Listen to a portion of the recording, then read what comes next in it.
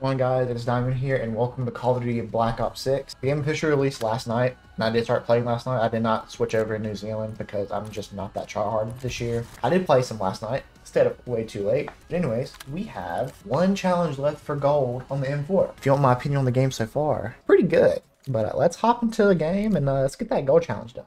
Alright, so we are up in the skyline, one of the beta maps. And that brings me to the first problem I have with this game is the maps. Uh, the maps kind of suck. I'm just going to be blunt. The maps kind of really do suck. In my opinion, I really do not like even the maps that they added. Skyline is probably the best map that there is right now. Uh, I have not got to play the Nuketown, but also it kind of make it might seem like it is only in the smaller map modes, and I hope that's not true. But in terms of actual gameplay, I feel like the game's pretty good. I enjoy it. It feels pretty good. I will have to say people are tryharding, but COD just released, so I mean, what else do you expect? But uh, yeah, last night I played from release until like 4 a.m. So uh, I mean, obviously I don't have as much time on as people that uh, moved to New Zealand, but uh, yeah, I got quite a bit of playtime on it considering it came out last night at 12.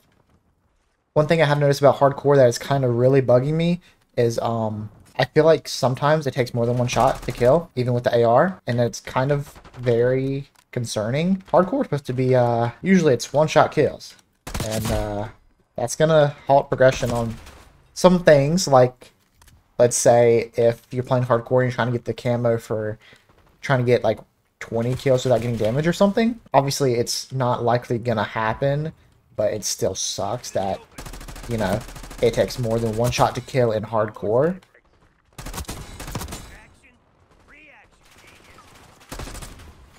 Oh, is this it? Level up?